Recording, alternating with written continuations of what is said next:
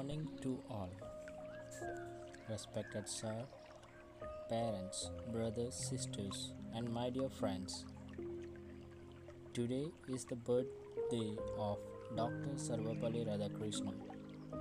On this day, we celebrate the Teachers' Day.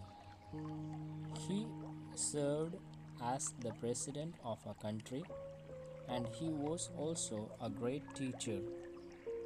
So, in memory of his great work, we remember him today and give homage to Dr. Sarvepalli Radhakrishnan.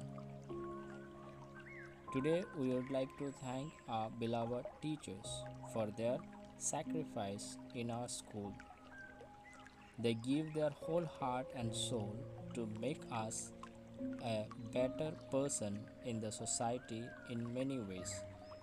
We all thank you, dear teachers, for all the great works you have been doing for us. Thank you, dear sir. Thank you, dear madam. Let us all stand and clap for our loving teachers.